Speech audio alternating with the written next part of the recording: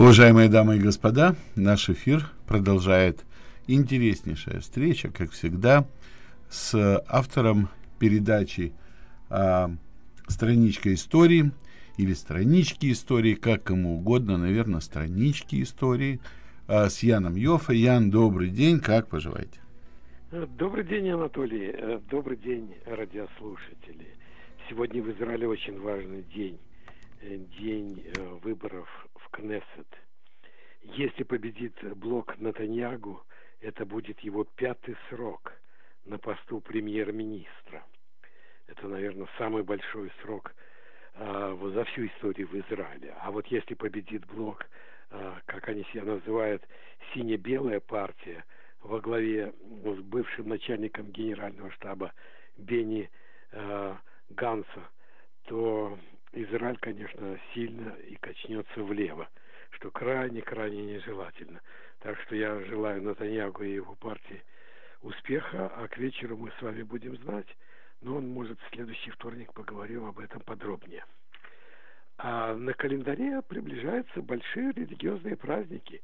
19 апреля после заката солнца начнется еврейский праздник Пейсах, Пасовар – в этот же день христиане отметят Good Friday, а через два дня в воскресенье католики и протестанты празднуют Истер. Через неделю, 28 апреля, православная Пасха. Религия для одних людей – исходная точка мироздания, для других – конечная. Одним она объясняет все, а другим она открывает просвет в область таинственного и непознаваемого. Для одних Бог часто что-то абстрактное, недоступное, непонятное, а для других близкий, слышащий жалобы человека, управляющий его судьбой, милосердный, любящий, и вера дает человеку смысл самой жизни. Бог есть наше духовное представление о Боге. Духовным восприятием мы постигаем Бога вне нас, через Бога внутри нас, в нашей совести, высших идеалах добра и правды.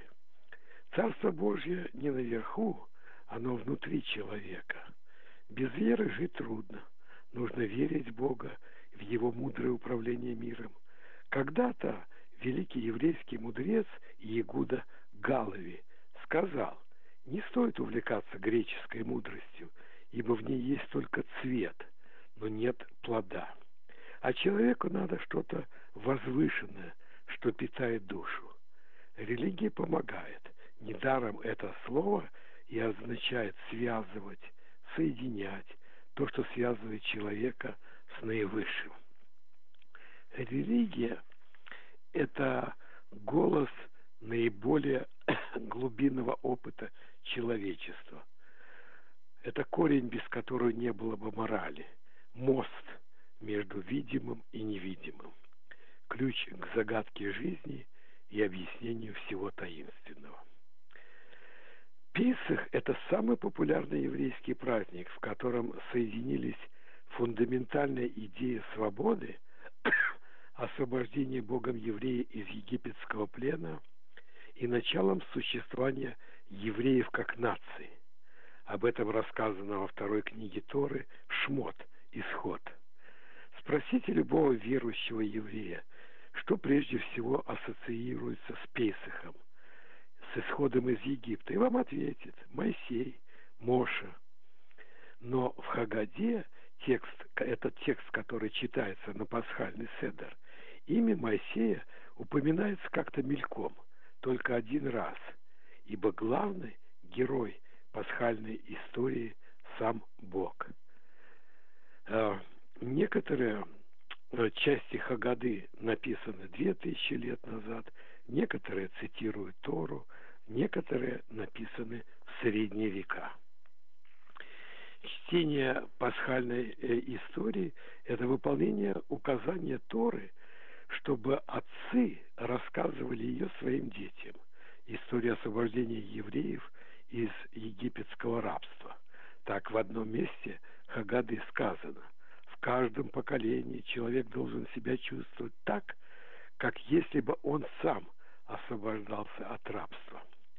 Пасхальный седр заключается словами «Лашана Хабала Иерушалаем» в следующем году в Иерусалиме.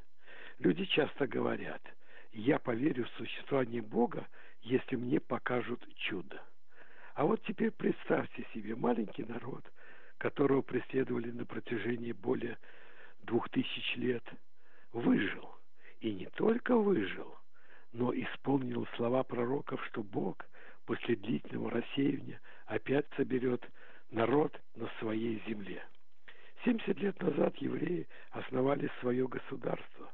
В конце XIX века на этой болотистой, пустынной территории жило где-то 20 тысяч евреев. Сегодня более 7 миллионов. Половина всего мирового еврейства. Тогда это была пустыня, сегодня цветущий сад, современное процветающее государство с валовым национальным продуктом 40 тысяч долларов на душу населения. По этому показателю Израиль уже опередил Испанию и Италию, не говоря о его достижениях в области медицины и высоких технологий. А, например, 76 израильских хай-тек компаний представлены в NASDAQ. Это биржа, которая торгует высокими технологиями. Из России там нет ни одной. Разве это не чудо? Мы верим не потому, что происходят чудеса. Наоборот, в результате веры рождается чудо. Какими же должна быть вера тех людей, которые создали современный Израиль в условиях враждебного окружения, семь тяжелейших войн и желание сбросить еврейский народ в море? Не получилось и не получится. В Торе сказано, что Пейсах следует отмечать 15 числа месяца Нисан, в первый месяц еврейского календаря, означающий наступление весны. Этот месяц – в Торе также называют Авив. Э, на хибру слово Авив обозначает весна. Указано также, что праздник следует отмечать семь дней, чтобы не ошибиться, евреи, жившие вне Израиля, добавляли еще один день. Но теперь большинство евреев традиционно празднуют семь дней. Основным предписанием праздника является употребление массы, пресного хлеба, как память тех древних событий, когда евреи срочно бежали, бежали из Египта и не имели времени захватить хлеб. Они пекли в пустыне только лепешки из муки и воды. О происхождении евреев из среды семитских кочевых народов, живших в глубокой древности э, в Вавилоне, свидетельствует много сходства между евреями и вавилонскими преданиями, а также археологическими раскопками в местах бывших государств Ассирии и Вавилонии. Со временем евреи из рода Якова после долгого пребывания в Ханане начинают переселяться в ближайшие области Египта. Сначала туда переселяется род Иосифа, ставшего главным советником фараона. Вы вспомните э, э, библейский рассказ Иосиф и его братья, а позже и другие э, племена Израиля. С тех пор и наступает новый период в истории еврейского народа. Они жили в восточной области Египта Гошен, орошаемой притоками реки Нила. Постепенно многие из них стали вести оседлую жизнь. Израильтяне э, не смешивались с египтянами. В те времена Египет был центром древнего мира. Фараоны воздвигали для себя прекрасные дворцы, огромные пирамиды, существовала письменность, процветало земледелие, строились оросительные каналы. Но религия египтян с ее поклонениями идолам в образе животных внуша, внушала отвращение израильтянам, сохранивших веру и преданность единому Богу. Чем быстрее размножались израильтяне, тем враждебнее относились к ним египтяне. Фараоны и их чиновники стали угнетать израильтян, принуждать их к тяжелым работам, копать землю, строить города и дворцы, превратили их рабов, и были назначены особые надзиратели, которые следили за выполнением всех этих принудительных работ. Один из фараонов издал приказ, чтобы всех новорожденных израильских мальчиков топили в реке. Приказ исполнялся с беспощадной строгостью. Израильскому народу грозило истребление. Сколько же раз в истории это повторялось? В это бедственное время у одного человека из колена Леви Амрама родился сын. Мать три месяца прятала его, а когда уже нельзя было больше скрывать, положила ребенка в корзинку и спрятала ее в густых тростниках на берегу Нила. Дочь фараона пришла к реке купаться. Услышав крик младенца, она жалилась и взяла его к себе и воспитала его как своего сына. Ребенку дали имя Моисей, Моше. По-египетски обозначает вытащенный из, воды, вытащенный из реки. Кормильцем ребенка стала мать Моисея, которую пригласили за плату э, дочка фараона.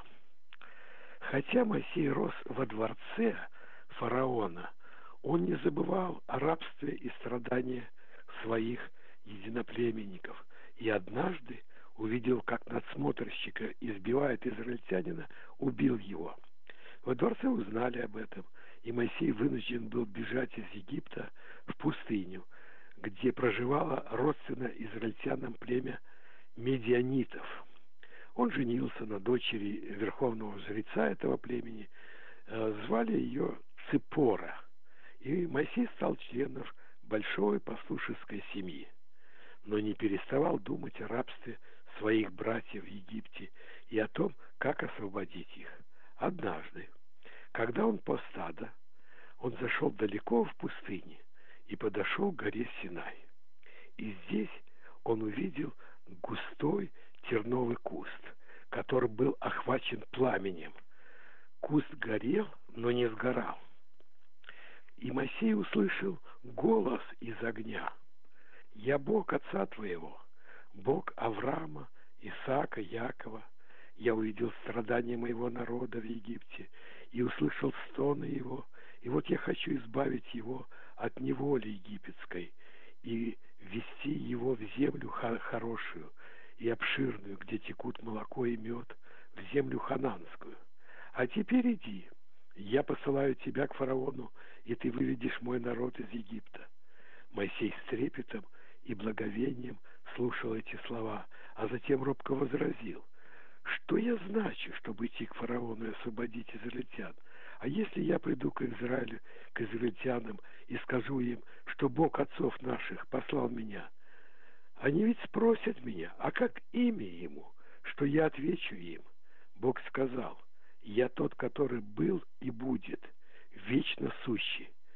Скажи это сынам Израиля. Я Егова, Бог ваших предков, послал меня к вам. Собери старейшин и возвести им, что я освобожу свой народ от египетского рабства. Фараону египетскому скажи, что еврейский Бог требует, чтобы он отпустил израильтян для служения Богу своему. Моисей снова робко заметил, что он не речист, что он косноязычен, что ему будет трудно объяснить, объясниться с фараоном. Но Бог обещал ему свою помощь и повелел действовать вместе с Ароном, его старшим братом. Взволнованный услышанным, Моисей забрал свою жену, забрал своих детей и отправился в Египет. Вот в этом маленьком отрывке, который я вам сейчас прочел истории, это суть истории еврейского народа. И разговор Бога с Моисеем, и чудо неопалимой купины, и имя Бога «Я есть, кто я есть», э, и его обещание освободить евреев от рабства. Я не буду подробно останавливаться на борьбе Моисея за освобождение евреев, исходе из Египта, тех десяти несчастий, которые Бог послал на Египет, и которые заставили фараона отпустить евреев, и о том чуде, которое совершилось, когда Господь раздвинул э, перед евреями воды Красного моря, а когда они перешли его, вновь сомкнул их, и вся египетская армия преследования утонула. Слова Бога, которые Моисей э, передал фараону, отпусти народ мой, чтобы они служили мне. Повторяли советские евреи, отказники, кремлевским фараонам. Отпусти народ мой.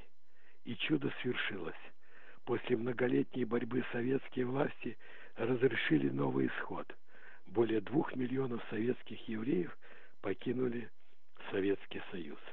Так что завет, пусть история Пейсаха будет жить в каждом еврее, как будто бы он освобождался от рабства, э, живая сегодня. Дело, конечно, не столько в истории того или иного праздника. Люди должны знать историю своего народа и страны, в которой они живут. Человеку без знания прошлого очень трудно понять настоящего. Исход израильтян из Египта начался весеннее утро 15 числа месяца Нисан. В честь этого дня и празднуется Писах. По библейскому преданию израильтяне прожили в Египте 430 лет. Научные исследования по истории Востока не дают нам точных дат, когда евреи поселились в Египте и когда совершился исход, но они позволяют установить в общих чертах связь между историей еврейского народа и историей Египта того времени. В Египте часто менялись династии фараонов. Во времена 17-й династии, где-то 2100 лет до нашей эры, значительная часть Египта была покорена бродячими семитскими племенами, э, пришедшими из пустыни, которых э, египетские надписи называли шасу, шасу, кочевники, бедуины. А позднее греки их стали называть гиксами. Гиксы почти 400 лет владычествовали в Египте. При одном из этих царей этой династии израильтяне, очевидно, переселились в Египет.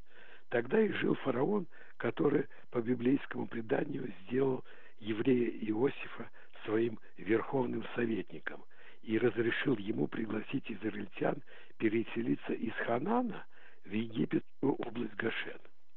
Где-то около 1600 года до нашей эры династия Гиксов была свергнута, и в Египте снова утвердилась могущественная национальная Фиванская династия, 18-я династия фараонов. Ненависть коренного населения к своим бывшим угнетателям, гиксам, распространилась теперь на всех семитов, пастухов, и в особенности на израильтян, живших а, в Гошене. Их обратили в рабство. Один э, из таких национальных фараонов 19 династии, Рамсес II, он прославился своими великими завоеваниями и постройкой самой большой пирамиды. Это при нем израильтяне познали всю горечь и страдания египетского рабства. При его преемниках могущество Египта в результате восстания рабов и набегов кочевников стало падать, израильтяне смогли избавиться от своих угнетателей и уйти в соседнюю пустыню, где кочевали родственные им семитские племена. По подсчетам египтологов это свершилось около 1300 года до нашей эры. Вот теперь представьте, прошло более трех тысяч лет, а еврейский народ помнит это событие и передает историю исхода из поколения в поколение – это и есть историческая память. Это и есть доказательство того, что народ, обладающий такой памятью и знающий свою историю, не исчез, а ведь исчезли все другие, все древние цивилизации. И Шумер, и Ассирия, и Вавилон, и Египет. Все они исчезли, а евреи остались.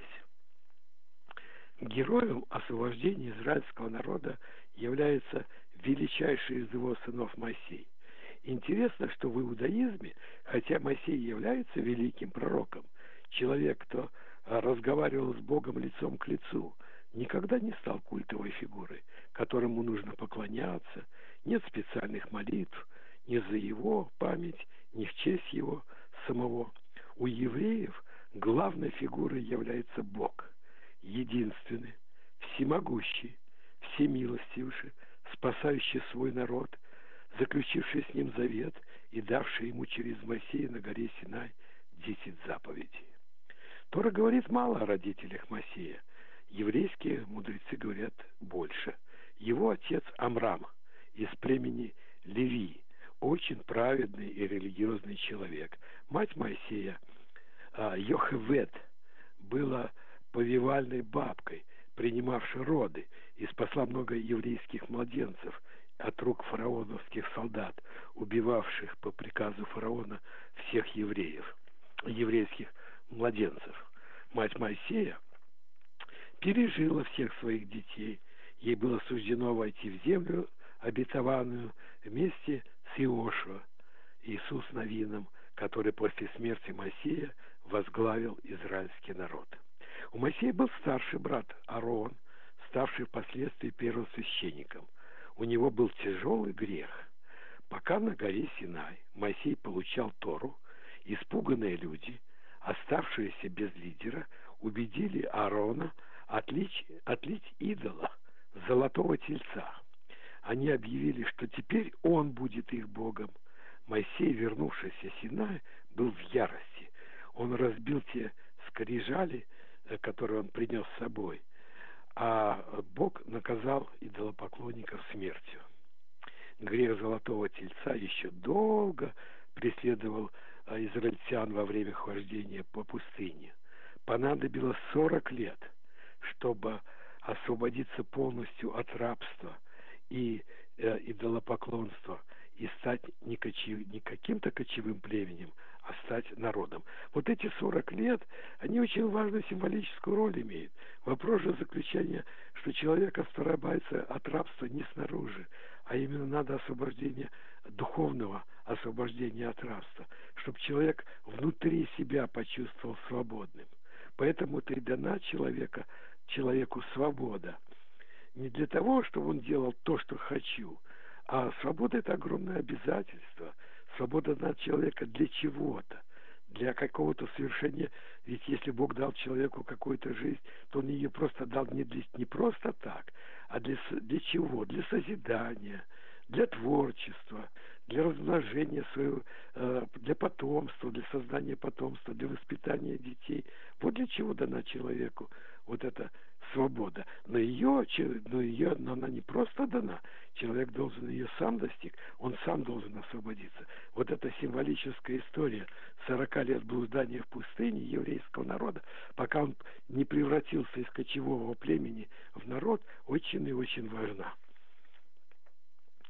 Сестра Моисея, Мириам, была связующим звездом между дочерью фараона и матерью Моисея. После того, когда ребенка нашли в тростнике на берегу Нила, она убедила дочку фараона пригласить кормилицу, которая была матерью Моисея. Эта сестра Моисея шла во главе израильтян, когда они переходили Красное море. Она умерла во время блуждания по пустыне, и в день ее смерти у, Израиль, у израильтян закончились запасы воды. Народ роптал. Но случилось чудо. По появлению, по повелению Бога Моисей ударил жезлом э, по камню, и оттуда потекла вода. Нелегкая задача выпала э, на долю Моисея. Сделать из группы рабов народ, верный заветам Бога. Моисей повернул израильтян от Красного моря в пустыне Шу. Люди страдали от недостатка воды. В одном месте нашли воду, но она была горькая. Люди роптали. Моисей бросил в воду кусочек дерева, и она стала опять питьевой, сладкой. В один из дней израильтяне увидели на земле что-то белое. «Вот хлеб, который послал вам Бог», — сказал Моисей народу. «Вы будете собирать его каждое утро».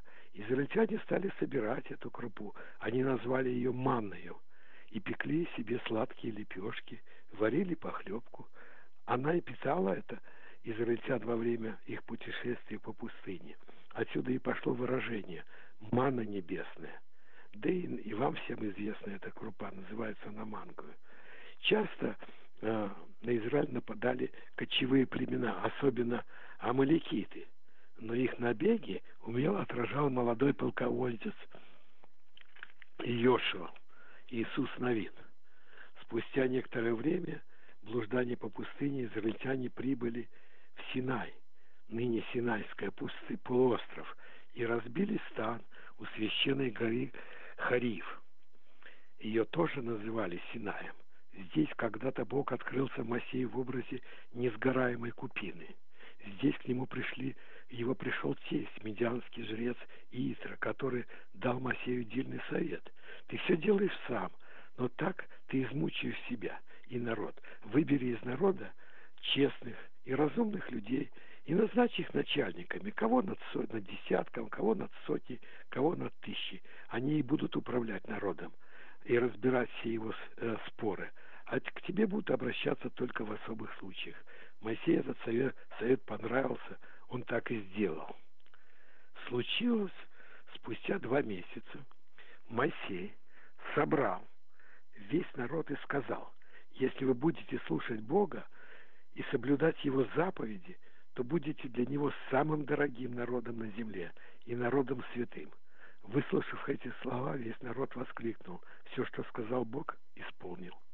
Моисей вывел людей из стана, расставил их цепью у подножия горы Синай, запретил им подниматься на гору.